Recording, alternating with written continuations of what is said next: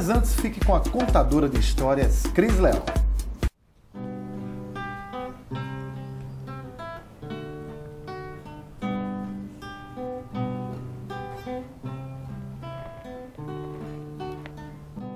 Eu vou te contar uma história.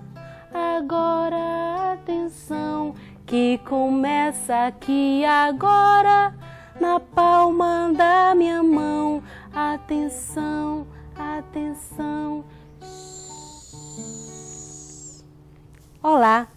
Hoje vou contar uma história escrita por Fabiana Barbosa e ilustrada por Ayondé França. E pele tem cor? Será? Vamos descobrir? Era uma vez um menino que via o mundo pelas cores.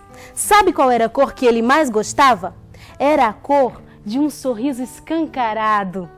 É, ele adorava ver as cores do mundo, as cores das borboletas, das ruas, das casas. Ele adorava a cor da felicidade e da amizade.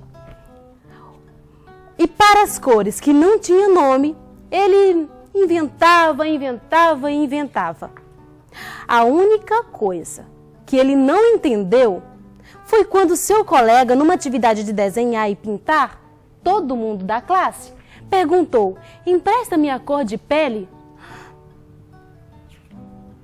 Como poderia existir uma cor que fosse a cor de todas as peles? E logo ele, que gostava tanto de cores, não conhecia essa cor? o menino continuou também a desenhar e pintar seus colegas.